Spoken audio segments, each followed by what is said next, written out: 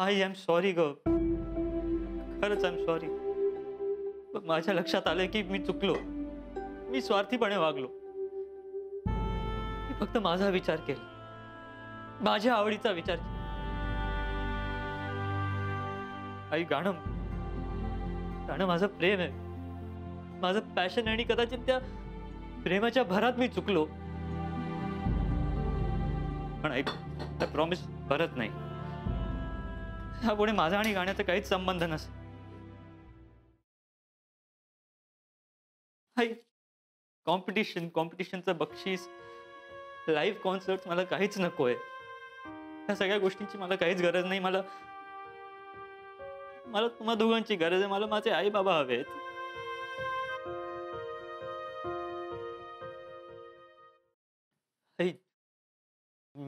मी आता सरगम कंपनीला कॉल करतो आणि त्यांना सांगतो की मी मी नाही गाणार.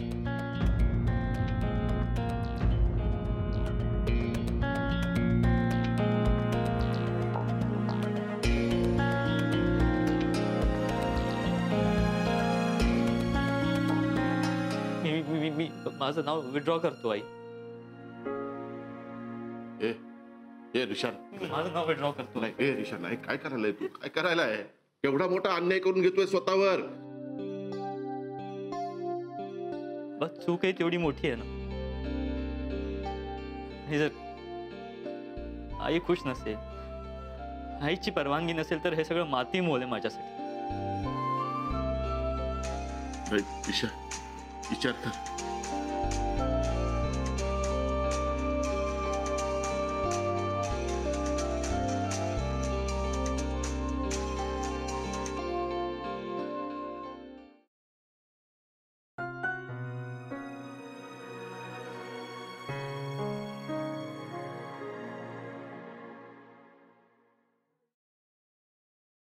हा सुम्या बोल.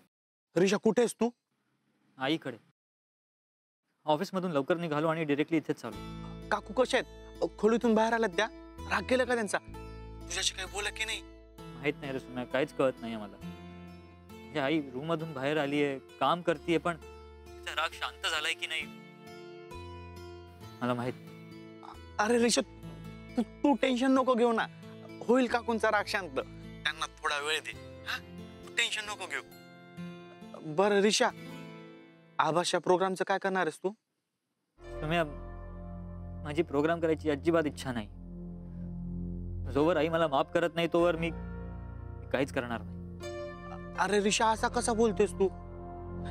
रिशा तू आता फक्त ऋषी म्हणून विचार करतोयस. अरे आभास म्हणून विचार कर. आभासच्या प्रोग्राम साठी कितीतरी लोक वाट बघतायत.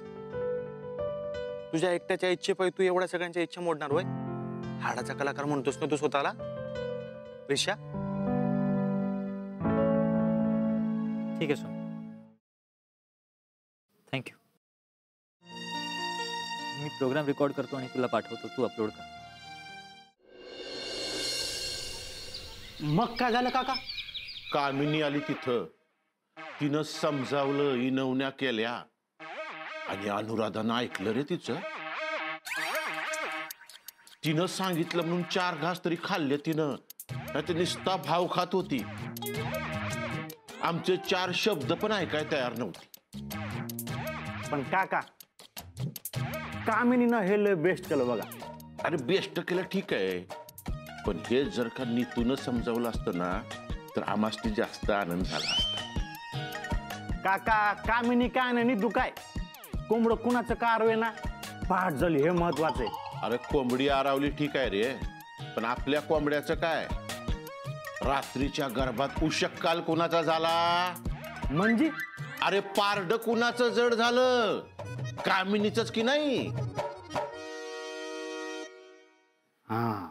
आता अनुराधानं कामिनी संगट लग्न लावायचं कन्फर्म केलं. म्हणजे झाले का वांदे? भाई साहेबांचा भाई साहेबांचा या या या या. जिंदाबाद! जिंदाबाद! ऋषिकेश तिळगुळकर अभिनंदन. अहो अ, हे ते सुपर सिंगर नाही आहेत हे त्यांचे वडील राजेश तिळगुळकर. हा. नाही नाही. ह्यो सुपर सिंगर नाहीये. ह्यो अजून सुपर सिंगल आहे. यातले भाई आणि साहेब कोण? भाई आणि साहेब नाही तो भाई साहेब.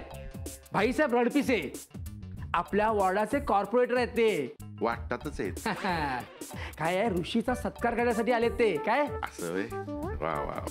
नवीन पिढीला प्रोत्साहन देण्यासाठी हा. आमचा पक्ष नेहमी कार्यरत असतो. आमच्या पक्षातर्फे ऋषिकेश तिळगुळकर हा. यांचा सत्कार करायचा. हो. त्यामुळे त्यांना भेटायचं होतं. पण या ठिकाणी ऋषिकेश तिळगुळकर आता नाही आहेत या ठिकाणी. ते या ठिकाणी आले की त्याला सांगतो आणि कळवतो मग या ठिकाणी. या ठिकाणी इतर पक्षांच्या अगोदर आम्ही आलोत. हे लक्षात ठेवा. नाही हो काल या ठिकाणी कबूतर आलती या ठिकाणी. विनोद विनोद. खूप विनोदी आहेत ते. साहेब द्या ना ते. हो. गुच्छ. गुच्छ. फुलांचा गुच्छ. येतो. येतो तुम्ही. चला साहेब चला चला चला. भाई साहेबांचा. भाई साहेबांचा. विजय असो. दिशा. आता आपला ऋषी काही कोणाला ऐकत नाही बघा. तो सगळ्यात मोठा सिंगर होणार. शंभर टक्के. इतो नाव this is too much okay अर्धा तास झालाय मला येऊन. आपण जातोय की नाही? येस येस येस चल चल चल. डन ओके चल आता. सुम्याचं फोन ऋषीच्या घरी सगळं ठीक असेल ना? बघूया. हॅलो हा सुमे बोल. काय काकूंचा राग शांत झाला का? अगं पल्लू काकूने ऋषीला माफ केलं मग आणि त्याला गायला पण परमिशन दिली. काय? सांगतोयस काय? एक मिनिट. आज तुला सांगतो पल्लू ऋषी आता कोणाच्या बापाला पण ऐकणार नाही बघ. आता तो मोठा सिंगर होणार. वाव! भारी. खूपच भारी सुपर बरं मी तुला पण सांगा अ, मी संध्याकाळी करतो तुला कॉल भेटूया आपण हा? मी तू? काय? गेस व्हॉट ऋषीच्या आईचा राग शांत झालाय. अगं त्यांनी त्याला माफ पण केलंय.